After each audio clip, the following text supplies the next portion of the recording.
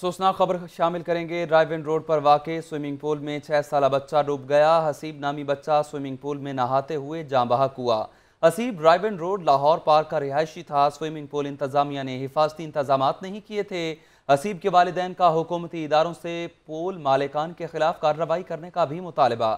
ये अफसोसनाक वाक़ ड्राइविंग रोड पर वाक़ स्विमिंग पूल में छह साल बच्चा डूब गया है, जबकि हसीब नामी बच्चा स्विमिंग पूल में नहाते हुए जाँ बहक हुआ।